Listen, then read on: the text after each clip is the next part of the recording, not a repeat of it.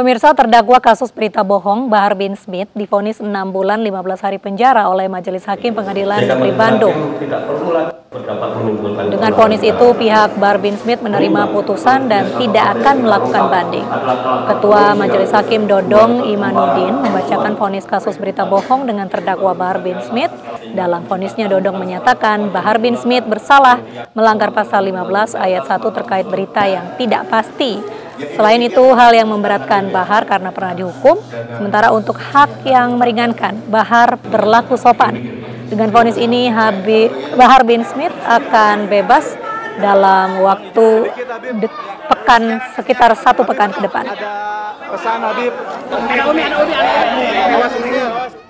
Saya Bahar bin Smith mengucapkan terima kasih atas hadirnya seluruh jamaah dan saya pada hari ini, Alhamdulillah difonis selama 6 bulan 15 hari.